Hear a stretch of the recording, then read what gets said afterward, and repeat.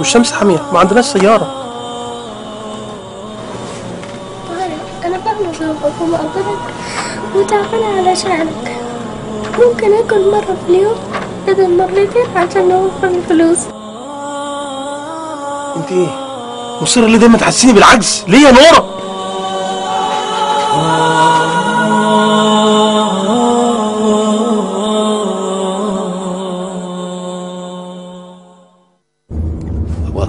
البيت رايق مروق وتضحك وتنبسط وتنسى كل اللي حصل.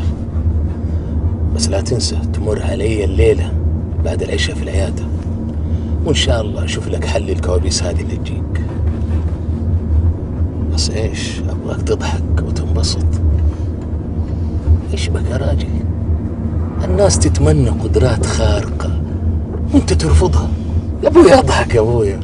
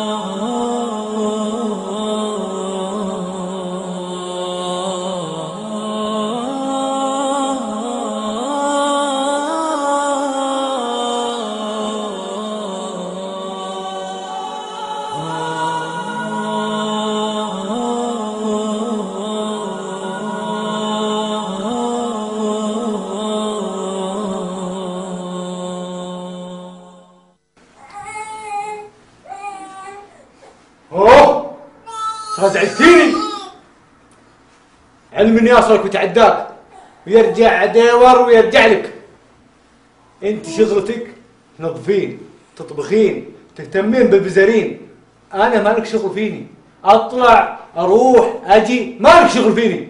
تفهميني ولا لا؟ وإذا ما عجبك كلامي بتالك انتظر. فاهمه ولا لا؟ يلا.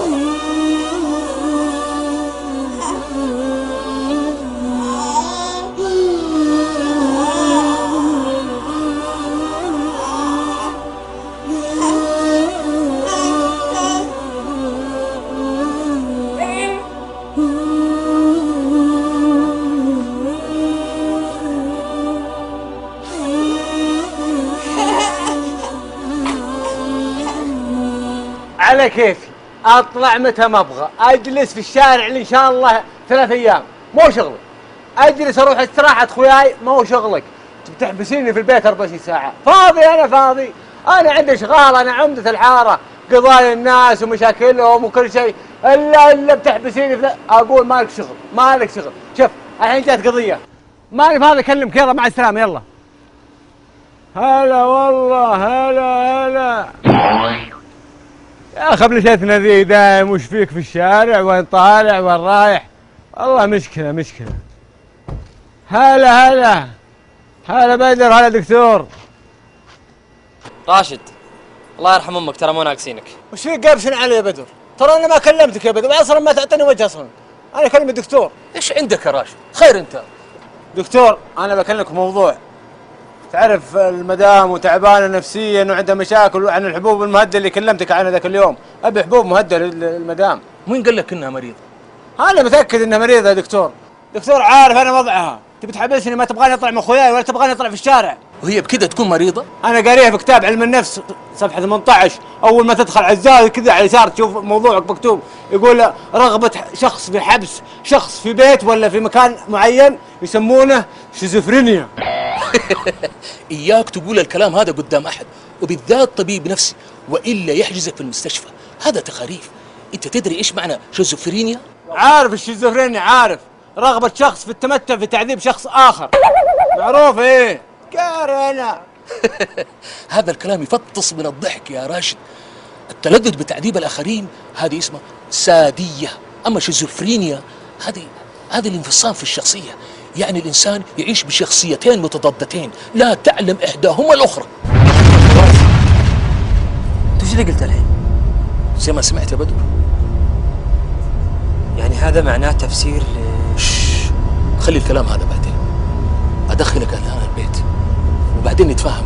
موعدنا بعد العشاء نتفاهم هناك. وأنت يا راشد خذ هذا الكرت. أنت تجيني المستشفى. أنت اللي تحتاج العلاج مو زوجتك.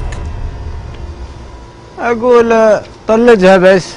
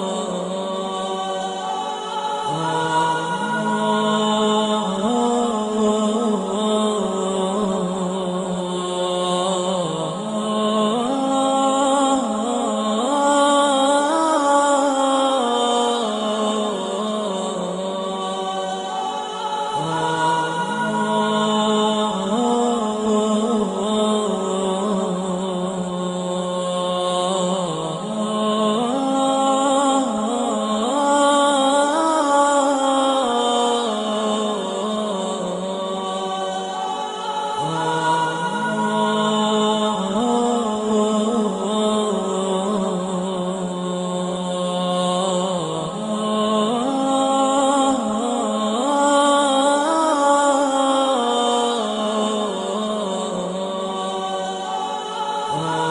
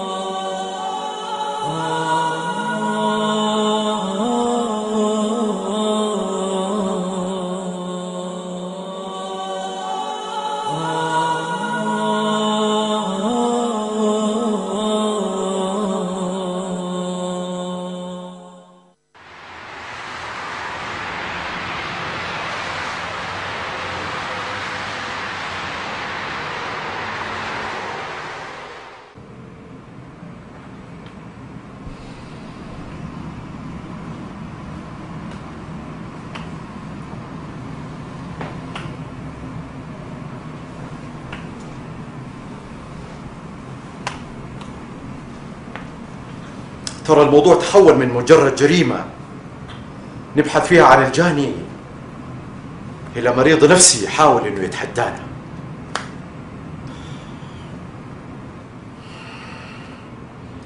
شكلنا داخلين على معركة جديدة. الضحايا فيها مواطنين. بس عشان يثبت ذكاؤه علينا. وهذا اللي أنا خايف منه. ضحايا جدد. عشان كده يا رائد فيصل السؤال اللي بيدور في ذهني دائما إيش وجه الربط في الجرائم هذه كلها بين الضحايا؟ للأسف ما في أي رابط يربطهم مع بعض. مستحيل! لابد من وجود رابط بس إحنا ما اكتشفناه. طالما إنه القاتل واحد لابد من وجود رابط. إحنا لو بحثنا بين الضحايا عن شيء مشترك بينهم ممكن يوصلنا هذا للقاتل. وهذه هي نقطة البداية. يا طويل العمر مستحيل. أنا دورت في جميع شجرات عائلاتهم وصداقاتهم ما لقيت في أي روابط بينهم. حتى فارق السن بينهم كبير جدا يعني لا يمكن تكوين علاقات من أي نوع. تتوقع إننا نواجه مريض نفسي؟ ولا عصابة تلعب علينا لتشتيت انتباهنا. عموما أنا حشتغل على احتمال وجود تكوين عصابي. يبغى يلفت نظرنا للجرائم. وهو يشتغل في هدوء لتحضير مصيبة كبرى. عشان كده رايد فيصل أبغاك تشتغل على فكرة المريض النفسي. عشان نقدر نواجهه بنفس سلاحه وأسلوبه. ما يفل الحديد. إلا الحديد. كيف يعني؟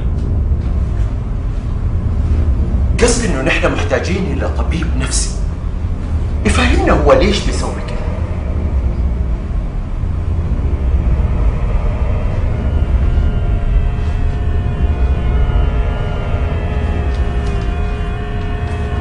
ممكن يدلنا على خطواته الجايه صحيح. إحنا لازم نستشير أكبر طبيب نفسي موجود في المملكة.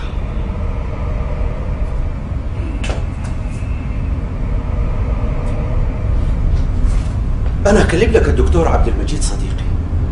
عايش في لندن. واطلب منه يرشح لنا طبيب نفسي يثق فيه. وأبغاك تجلس معاه اليوم قبل بكرة.